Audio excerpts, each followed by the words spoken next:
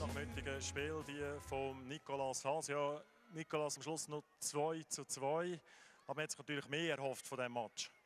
Ja, natürlich. Äh, die ganze Mannschaft hat ähm, eigentlich super Publikum wollen, eine gute Leistung zeigen, ähm, ein gutes Resultat ähm, halten und das haben wir nicht geschafft. Und ich bin sehr traurig über die Leistung. Ähm, für mich, wir haben alles probiert. Es ist sehr schwierig das umzusetzen und äh, klar, wir brauchen äh, eine bessere Leistung. Wir müssen geschlossener agieren und das muss im letzten Match deutlich besser werden.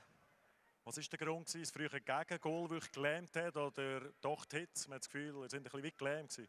Nein, überhaupt nicht Hitze. Ich meine, es ist für beide Mannschaften gleich, dass, wir, äh, dass es heiß ist. Es ist nicht der Grund, gewesen, sondern äh, wir müssen äh, taktisch wieder besser miteinander arbeiten. Es waren viele Unstimmigkeiten innerhalb der Mannschaft und dann äh, sind natürlich dann die Räume, die sie bespielen. Und äh, sie haben natürlich keinen Druck mehr, sie können spielen und äh, das haben wir gemerkt.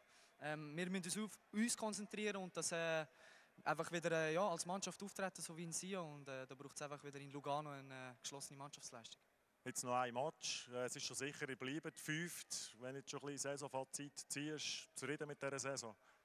Ähm, nein, überhaupt nicht eigentlich. Wir haben uns sicher mehr erhofft aus dieser Saison. Sicher auch für unsere Fans, die uns eigentlich immer pushen, egal wie es läuft. Und es ist sehr schade, ihnen das nicht zurückzugeben, ähm, obwohl wir es eigentlich wollen. Und äh, an dem müssen wir arbeiten und sicher nächstes, nächstes Jahr ähm, versuchen, sie das Beste zu machen. Okay, merci Nicolas Haas. Merci.